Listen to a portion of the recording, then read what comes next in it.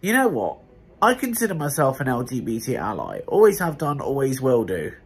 But the fact that people are literally going out of their way to target and then attack content creators for streaming and making content on Hogwarts Legacy, to me, that's just fucking wrong.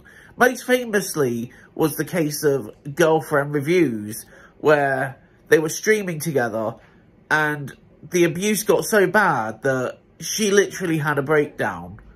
What's even more disturbing is that there is literally a website now out and dedicated to name dropping everybody that's streaming Hogwarts Legacy for the purpose so that people can go after them and cancel them. And you know what? I'm just going to call this out for what it is. This is systematic bullying. And you know what? Is this not the kind of systematic bullying that LGBT has rallied against? Is it, is, how is it any different? Now, I'm not saying I agree with JK's view, because far from it. I think she's a massive twat.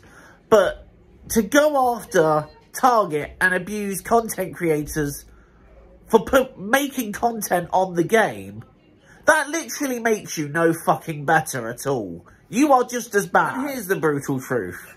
It doesn't matter whether the game gets boycotted or cancelled, whatever.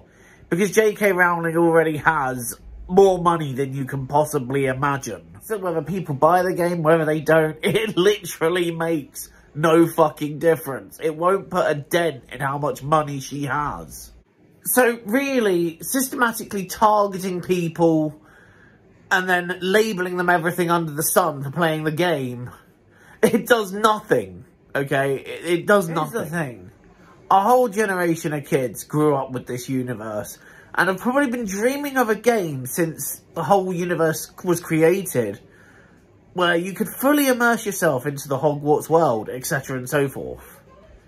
So, I think it's just a case of a lot of people are separating the art from the artist. And, and that's okay. You know what? If you have strong feelings about it, one way or the other, whatever your feelings they're, they're perfectly valid. That's fine. That's okay. Just targeting people and abusing them just...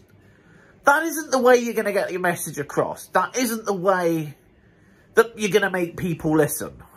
Playing the game does not make you transphobic. And I'm sorry, but that's just my take on it. But what do I know?